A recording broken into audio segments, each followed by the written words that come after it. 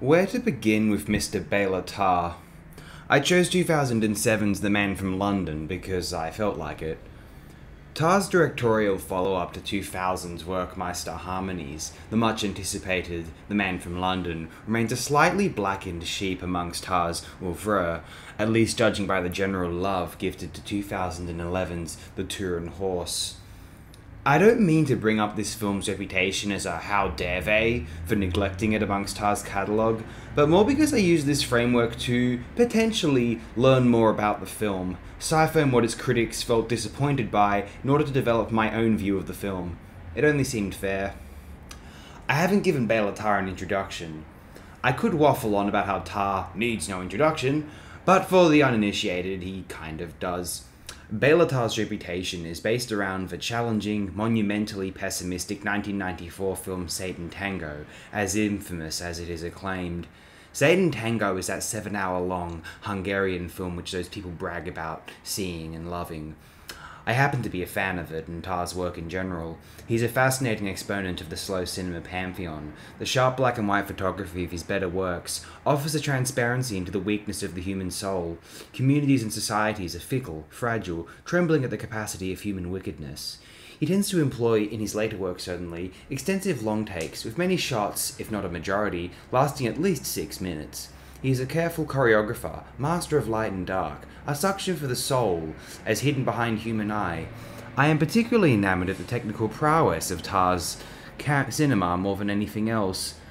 There are those who choose Tar as the finest exponent of continental philosophy in cinema, or even just social commentary outright in cinema today, or even cinema forever. And that's all well and good. I mean, I love European films of the philosophic bend, but I hardly feel they have a monopoly on them, at least compared to, say, the cinema of Asia.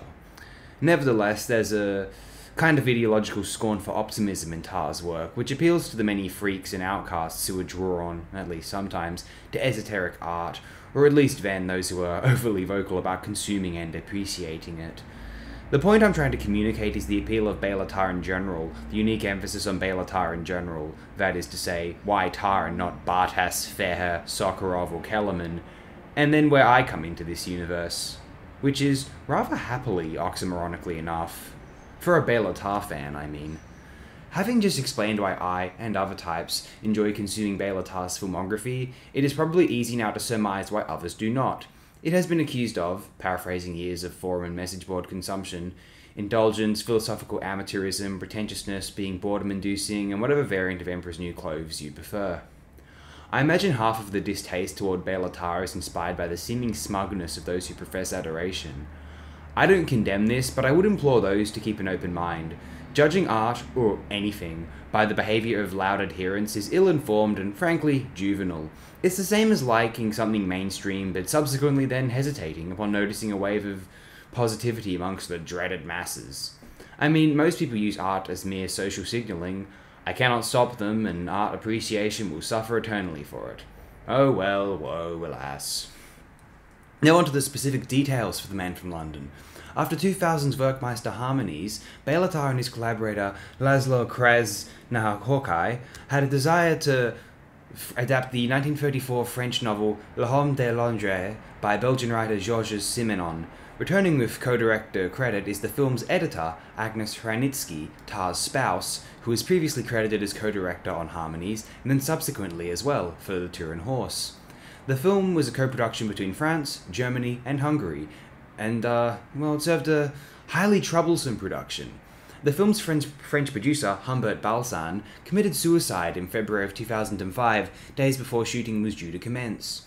As the original financing of the film had, had then collapsed, the remaining producers managed to secure funding that allowed them to shoot nine days of footage on the expensive Corsican sets, until they were shut down through legal action by a local subcontractor. After many expressions of support from European film organizations and production companies, and even government bodies, a new co production contract was finally signed in July 2005, containing a revised budget and shooting schedule. Apparently, unexpectedly, all rights to this film production were suddenly ceded to a French bank, based upon some justification found in the original production agreement. And then, only after further changes in the film's backers, was a deal finally struck with this bank, allowing shooting to resume in March 2006, well over a year later than had been originally envisaged. And so, this film's plot follows Maloin, a middle aged railway worker, of a pointsman to be specific, who witnesses a murder whilst on his job. After his, his secret act of witness, he recovers a briefcase containing a large sum of money from the scene of the crime. Racked by fear, by guilt, Maloin descends into despair and defeat, which leads to animosity amongst his family unit. To make matters more stressful and unpleasant, an English police detective arrives to investigate the disappearance of the money, interrogating several characters connected to the crime. Now, I could describe this film's plot further, though I'd be concerned of granting an image of. an undue image of conventional, conventionality uh, toward the plot's actual telling, which is highly considered, specific, and existentially charged. And I don't want anyone to have the image of something Hitchcockian derivative, a cheap, digestible means of illustrating human duress and capacity. Uh, For instance, those 90s English language, oh no consequences romps like Shallow Grave or A Simple Plan. This picture is much, much more substantial, travelling ferocious existential angst which traps its already woeful protagonist in a maze of terror, shame, and fierce unpredictability. It has been written that the critical reception to The Man from London was generally quite positive, though apparently less adamant than that of the director's previous two works, Satan Tango and Werckmeister Harmonies. While reviewers spoke in glowing terms of the spellbinding cinematography and the meticulous, precise staging, it was seemingly considered narratively weaker than his two aforementioned prior films. It was the first of Tarr's works to premiere in competition at the Cannes Film Festival, but it won no prize. I have a number of critical reviews I could pot- potentially feasibly quote, but they all surmise the same apparent issues of the film brilliant formal construction, somewhat meager subtext. I suppose the the prison of human guilt has been overfished as a thematic genus in the history of art and expression. That that may be fair to fair to express, fair to say. Though I noted a more insightful analysis or haul of the film's themes, courtesy of one Martha no- Nochimson. Nochimson, I don't know if I'm pronouncing that right. She, she wrote this in the New York Times uh, um, in 2007. There's a piece uh, where, where she describes the philosophical takeaway of several films she saw at the, I believe, the New York Film Festival, and one of the films listed here is Bela Tarr's The Man from London. So, according to Martha, the film is an exploration of anonymous breakdowns of social order in personal life. That's a quote unquote. Generally, quote, questions of justice operate in the background, which foregrounds the perceptions and point of view of an accidental witness who, like the viewer, has no connection with anyone involved, unquote. They consider the film suggests the possibility that, quote, it is only on an abstract plane that murder committed by and on strangers causes a stir and demands an investigation. In this context, it is fitting that the investigation must be undertaken by a stranger. Excuse me. The man from London, since abstraction entails distancing from an enveloping context. Only the appearance of the man from London, Brown, impels Maloin to struggle with his de facto alienation, as an ordinary man, from moral principle, an alienation linked counter- counterintuitively to the absence of desire in his daily grind. I like this piece. It identifies, more so than the issue of human guilt, a chain of shame. It, it identifies a coldness, a murder investigated as a formality, which impacts the emotional existence of those adjacent due to the formal consequences, more so than the immediate social consequences. Unknown strangers were murdered, were stolen from. The disorder of Maloin's microworld descends from a higher categorization of human events. It is not revenge that pursues him, not the vengeance of related criminals, but an investigator from far away, whose motivation is cold, flat, mildly non existent. This man from London has a job to correct irregularities that only an impartial state can care about and deliver the consequences for. The implications of this, existentially, of a godlike state, the necessity of meta societal or authoritative abstracts to protect the blind spots of interpersonal communities, these are the film's more interesting thematic spaces, in my opinion, as opposed to simply that of subdued, somber, paranoid shame. I would like to add my own personal takeaway of interest.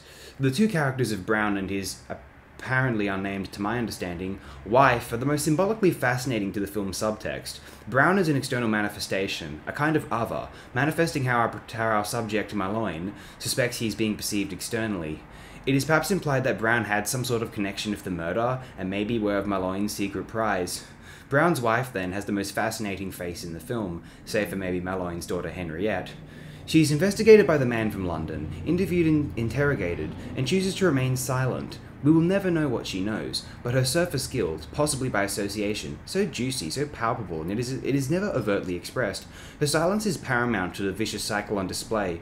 Her shame is not the shame of a criminal, but of one who is cold, indifferent to her husband's own criminality, toward men she considers to be strangers. Upon consequences arriving to her husband, however, she exhales and finds room to grieve. The Man from London I find to be a, a strong piece of Bela catalogue. I, I don't have I don't know what else to say about this. It's it's a I find it to be one of his strong strong works and um I mean, I've enjoyed everything I've seen from Tarr, with the exception of one film, which I once viewed with my associate Gulen Dode. I'm not precisely sure which one it was. I am under the impression, though, it was 1984's Almanac of Fall, which I hate to say it, I just found it, frankly, just a completely uninteresting film. Mind you, mind you, the copy that we saw was a TV or VHS rip, which was, which was, which was quite subpar, and um, yeah, it, neither of us cared for the film. Though I'm a wholehearted fan of Damnation, Satan Tango, Werckmeister Harmonies, The Man from London, and The Turin Horse, as well as of 1982's Macbeth, which is, I believe, lesser lesser seen Tarr, but a really terrific film, I think. And um, his his three previous features, I believe, Family Nest, The Outsider, and The Prefab People. I have not seen these. I'll have to get on onto those at some point in my in my life before or before I die. Anyway, that's Bela Tarr for you. And I, well, it, it, is hard to recommend because even you, you, I could waffle on all day about how much I like these films, but you know, like with Angelopoulos, like uh, Ming Liang Tsai, it's only so challenging to recommend these films to casual film fans. Uh, even more more dedicated film fans, some of them see a certain indulgence in, in these sort of pictures. And, well, look, to each their own, I, I suppose, but I don't know. I think this is a very valid, very interesting, and kind of obvious way to take existential cinema. I mean, why not? We have we have the capacity for these takes. We have the capacity for these extensive, woesome close-ups. I, I say there must be some sort of space where we can indulge in it. That space may be dominated by one Bela Tarr. Hmm. This this last uh, minute or so was actually unscripted. I, I, I, wrote about three pages of this, and then, then I chose to record without realizing I had no concluding paragraph. But there it is, improvised.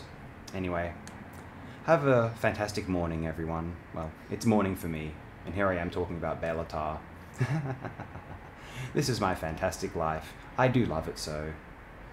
This is not the kind of thing you'd expect a Bela Tarr fan to say, but, well, here I am. Thank you, and have a good one.